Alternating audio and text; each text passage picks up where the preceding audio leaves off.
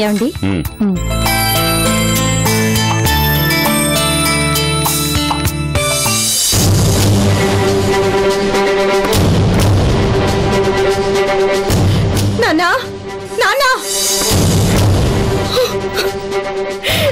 ఏమైందమ్మా?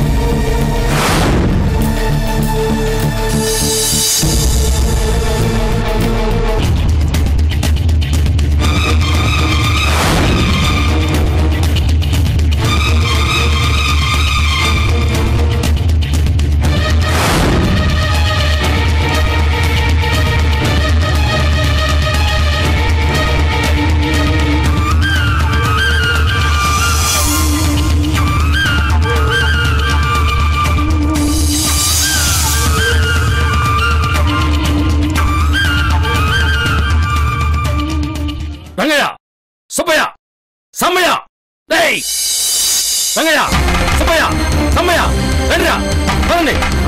రండ్రా పదండి.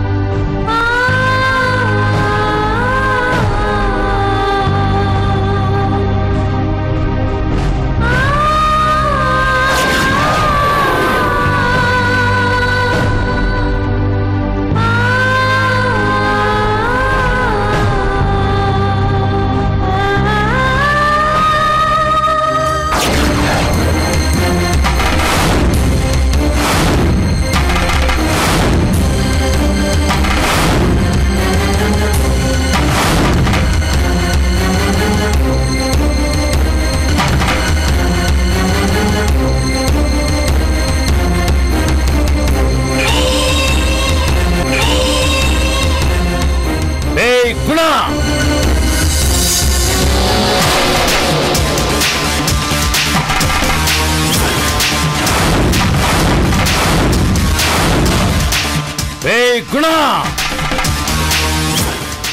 ఎంత నాటకం ఆడేవారా? నువ్వు ఈ ఊరు వచ్చింది పొలాలు కొనడానికా రేయ్ ఊరు ఊరంతా ఈ మహేంద్ర అంటే చేతులెత్తి దండాలు పెడతారా? అలాంటిది నా ఇంటికి వచ్చి అబద్ధాలు చెప్పడమే కాకుండా నా కూతురు శిలాన శంకిస్తావు నువ్వు? రేయ్ వీడిని ముక్కలు ముక్కలు నరికేయండిరా. నేను చెప్పేది ఒకసారి వినండి. ఏంట్రా నువ్వు చెప్పేది నేను వినేది? అంకుల్ నేను చెప్పేది ఒకసారి వినండి. ప్లీజ్. వేసేయండిరా. వేసేయండి. వద్దు. నేను చెప్పేది వినండి. వేసేయండిరా ప్లీజ్ అబ్బా! వేసేయండి నేను చెప్పేది ఒకసారి-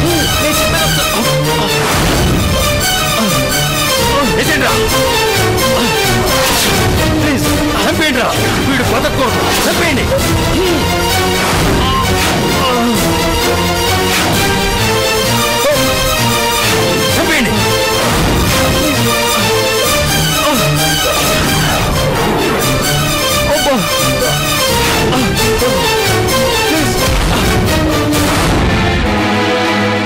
అత్త ఏంట్రా? మీ ఇంట్లో ఒక అతను ఉన్నాడే ఆ. అతన్ని మహేంద్ర వర్మ వాళ్ళు కొడుతున్నారు. ఆ? ఎక్కడా? అక్కడ రాత.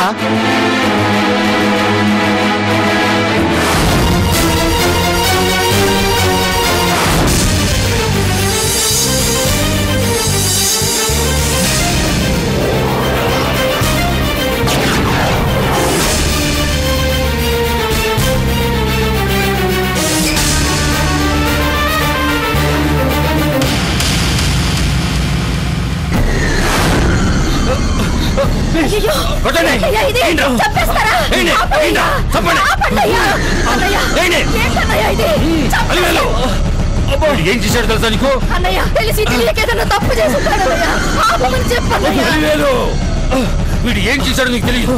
నా కూతురు మహాలక్ష్మి మీద తిరుగుతున్నాడు వీడు. అన్నయ్య పట్ల నుంచి వచ్చాడు కదన్నయ్య ఇక్కడ మనుషుల గురించి ఇక్కడ పద్ధతుల గురించి తెలియక ఏదో చేసుంటాడు అన్నయ్య. కొనండి. చచ్చిపోతాడన్నయ్య ఏ తల్లి కన్న బిడ్డ ఆపమని చెప్పన్నయ్య నీ కాళ్ళు పట్టుకుంటాను. అన్నయ్య ఏయ్! అన్నయ్య. ఆపండి! అలివేలు నువ్వు నా కాళ్ళు పట్టుకున్నావు కాబట్టి వదిలేస్తున్నాను. వీడు నీ ఇంట్లోనే కాదు. ఈ ఊళ్ళోనే ఉంటాను వీలేదు రండ్రా! బాబు. బాబు. అయ్యో బాబు. ఒరే. ఒరే మీరింటికి తీసుకెళ్ళండి. నేను నేను వెళ్ళి డాక్టర్ని తీసుకొస్తాను. జాగ్రత్త నాయన. జాగ్రత్తగా తీసుకెళ్ళండి.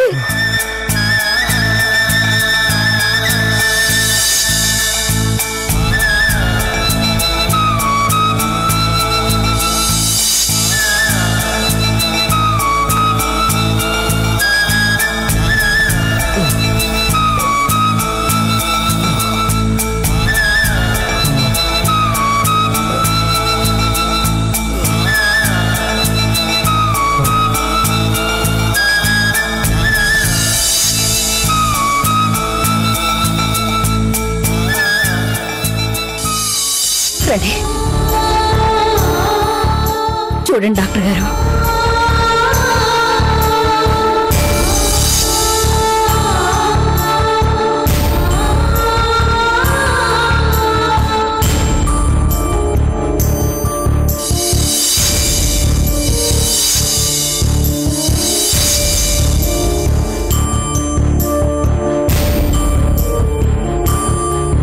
అమ్మ కాస్త వేడి నీళ్ళు తీసుకురా.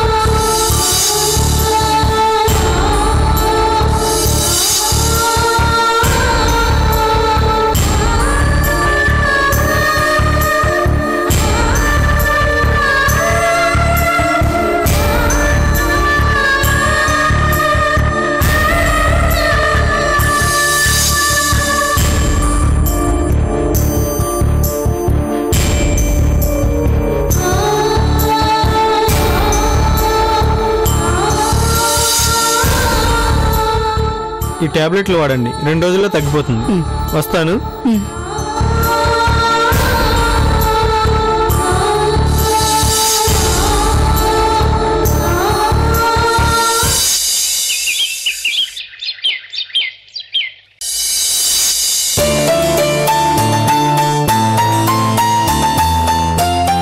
ఏమండి?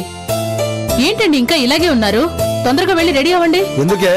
అప్పుడే మర్చిపోయారా? సుబ్బరాజు గారి మనవడికి బారసాల చేస్తున్నారు. మన ఇద్దరిని రమ్మని మరీ మరీ చెప్పారు. బారశాల ఇలాంటి చిన్న చిన్న ఫంక్షన్లన్నిటికీ నేనొస్తే ఈ జీకే సాధారణ మనిషి అయిపోతాడే. నాకు రావడం కుదరదు కానీ నువ్వు వెళ్ళు. అది కాదండి. మమ్మీ! డాడీ! ఏంటమ్మా? ఏమైంది? మూడు రోజుల నుంచి మీ అల్లుడు గారు ఇంటికి రావడం లేదు. ఎక్కడికి వెళ్ళారు? ఏమైపోయారో అర్థం కావట్లేదు డాడీ. ఈ మాత్రం దానికే ఇంత ఏడుపా? ఊరుకోమ్మా వచ్చేస్తానులే. లేదు డాడీ. జరిగింది తెలియక మీరు అలా మాట్లాడుతున్నారు. నేను కోరుకున్న మార్పు ఆయనలో ఇంత త్వరగా వస్తుందని నేను ఊహించలేదు. నాతో చాలా బాగా మాట్లాడారు. భారీగా నేనేం చేయాలో నా నుంచి అతను ఏం కోరుకుంటున్నారో నేను ఎలా ఉండాలో వివరంగా చెప్పారు. ఆఫీస్కి వెళ్ళాక ఫోన్ చేశారు. త్వరగా ఇంటికి వచ్చేస్తానన్నారు. మనస్ఫూర్తిగా భారీగా స్వీకరిస్తానన్నారు. కానీ అలా జరగలేదు.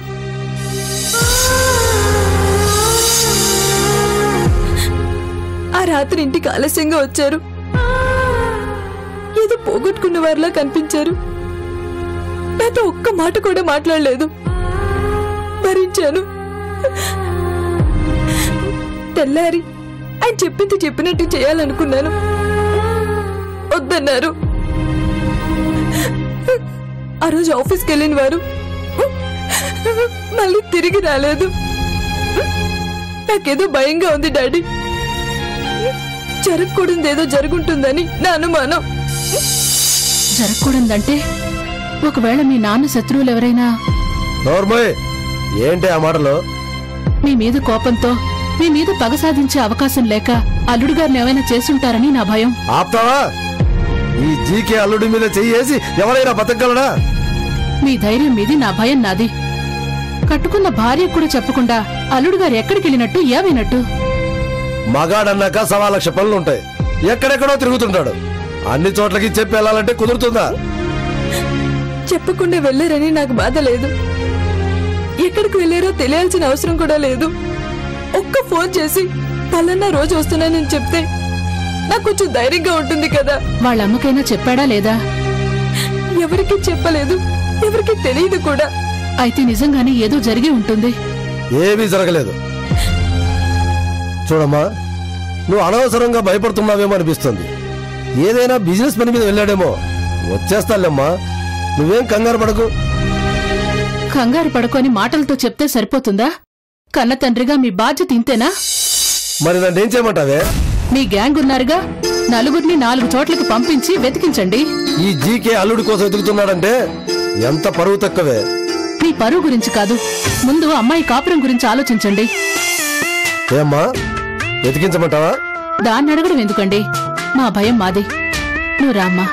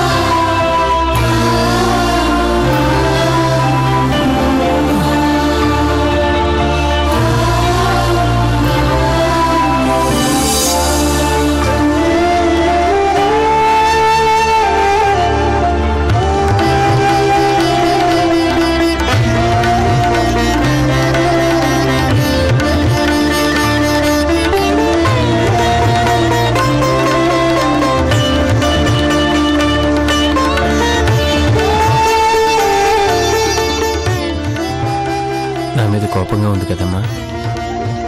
కాదు. అసహ్యంగా ఉంది. నీ మీద కాదు. నా మీద. ఒక ఆడదాని గురించి ఇంత నీచంగా ఆలోచించే నీలాంటి వాడికి ఇంట్లో చోటిచ్చినందుకు ఈ చేతులతో నీకు వండి పెట్టినందుకు ఇప్పుడు నీకిలా సేవలు చేస్తున్నందుకు నా మీద నాకే అసహ్యంగా ఉంది. వద్దమ్మా. మీరు కూడా నన్ను అపార్థం చేసుకుంటే భరించలేను. అపార్థమా? అక్కడ మహాలక్ష్మి గదిలోంచి బయటకు కూడా రాకుండా ఏడుస్తూ పడింది. తెలుసా నీకు? ఇంతవరకు ఈ ఊళ్ళో ఈ విషయం ఎవరికి చెప్పకూడదు అనుకున్నాను. కానీ నన్ను ఆదరించి అభిమానించిన మీరే నన్ను అపార్థం చేసుకుంటే ఇప్పుడు చెప్పక తప్పడం లేదు. నేను మహాలక్ష్మి వెంట ఎందుకు తిరిగాననేగా మీ అనుమానం? చెప్తానమ్మా. మళ్ళీ మా ఇంట్లో పని మనిషి.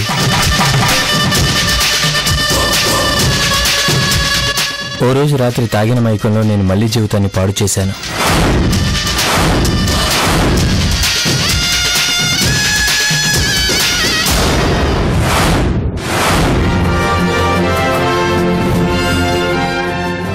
ఆ తప్పుకు ఫలితంగా నాకు ఇష్టం లేకపోయినా మళ్ళీ మెళ్ళలో తాళి కట్టాల్సి వచ్చింది. భార్య అయిందే గాని నేను ఏ రోజు తనని భర్తగా ఆదరించలేదు.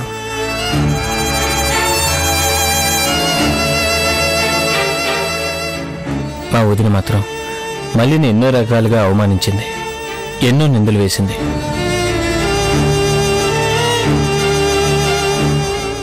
కానీ మా అమ్మకు మళ్ళీ అంటే చాలా ఇష్టం. చెప్పుడు మాటలు విన్న నేను మళ్ళీని అడ్డు తొలగించుకోవాలనుకున్నాను. పథకం ప్రకారం చిలుకూరు బాలాజీ గుడికి తీసుకెళ్తుండగా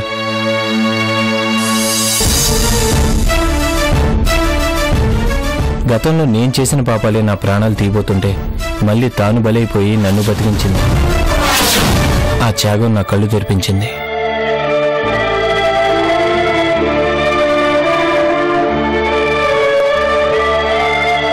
కానీ అప్పటికే పరిస్థితి చేదాటిపోయింది.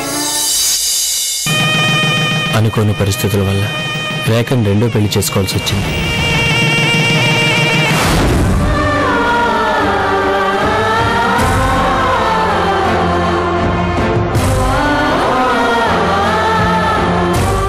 మళ్ళీ చనిపోయిందని అందరూ చెప్తున్నా నేను నమ్మేవాడిని కాదు. మళ్ళీని మర్చిపోలేక పిచ్చివాడిని అయిపోయాను.